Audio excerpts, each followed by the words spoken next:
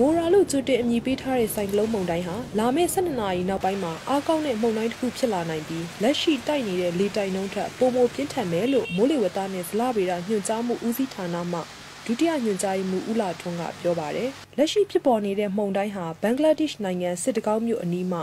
ဘင်္ဂလားဒေ့ရှ်ကမ်းခြေဒေသကိုဖျက်ကျော်ဝင်ရောက်မှာဖြစ်ပြီးမြန်မာနိုင်ငံရခိုင်ကမ်းရိုးတန်းအနီးကနေရွေ့ရှားမဲ့အခြေအနေရှိနေတာကြောင့် လိမ္မော်ရောင်အဆင့်လို့သတ်မှတ်ထားကြောင်းမိုးလေဝသနဲ့ဇလားဗေဒညွှန်ကြားမှုဦးစီးဌာနကထုတ်ပြန်ထားပါတယ်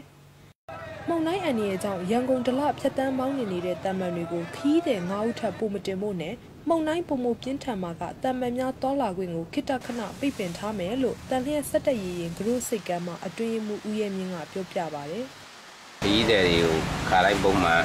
6ရောက်တင်တယ်6ရောက်တင်တဲ့အချိန်မှာအခုလိုတိတ်လေးတိုက်တယ်လေဟိုပြောကြရှော့ပြီးတော့ 9ရောက်ပဲတင်တိတ်များများစားတာနင်လားငါလားတိုက်တယ်နင်လားငါလားဖြစ်တယ်ဆိုရင်တော့သူတို့ဒီကမန်စိတ်တိုင်းစိတ်တိုင်းမှာပဲမျိုးနယ်အနေနဲ့ညွှန်ကြားထားတဲ့ကြည့်တယ်မုံတိုင်းတိတ်များရင်ဒီတိတ်များရင်ကြီးတိတ်ကြီးရင်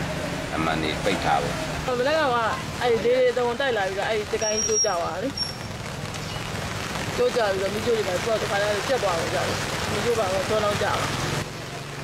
မုံတိုင်းအန်ဒီရဲ့ကာကွယ်မှုနဲ့ပတ်သက်ပြီးကြိုတင်ပြင်ဆင်မှုတွေလှုပ်ဆောင်နေကြောင်းဒလမြို့နယ်မိသက်စခန်းမှဒုဦးစီးမှုဦးဇော်ငိမ့်အောင်ကလည်းအခုလိုပြောဆိုပါတယ် မုန်တိုင်းကဒါလိမ်မောအောင်ဆက်ပေါ့နော်လိမ်မောအောင်ဆက်ရှိရတော့ဒါကျွန်တော်က stand တူထားပါတယ်တော့လက်ရှိပြင်ဆင်နေရပေါ့နော်ဒီဒါမနက်ဖြန်ဆိုတာဖြတ်မယ်လို့ပြောတော့နော်ဒါကျွန်တော်ရှာဖို့ပြည်ပစ္စည်းတွေလူတွေဒါဒါကျွန်တော်ကားတွေရှင်းနေအကုန်လုံးအစင်းနဲ့ပေါ့နော်ချက်ချင်းထွက်နိုင်အောင်ကျွန်တော်ကဒါပြင်ဆင်ပြီးတော့ကျွန်တော်ဆောင်ရွက်ထားပါတယ်။လက်ရှိဖြစ်ပေါ်နေတဲ့ဆိုင်ကလုန်းမုန်တိုင်းဟာရခိုင်ကမ်းရိုးတန်းမြောက်ပိုင်းဒေသများဖြစ်တဲ့စစ်တွေ၊မောင်တော်၊ဘူးသီးတောင်တို့မှာအဓိကထိခိုက်နိုင်ပြီး ရခိုင်ကမ်းရိုးတန်းဒေသတစ်လျှောက်လုံးတတိထားဖို့လိုအပ်ကြောင်းကိုမိုးလေဝသနဲ့ဇလဗေဒညွှန်ကြားမှုဦးစီးဌာနမှဒုတိယညွှန်ကြားရေးမှူးဦးလာထွန်းကပြောဆိုပါတယ်ရှင်။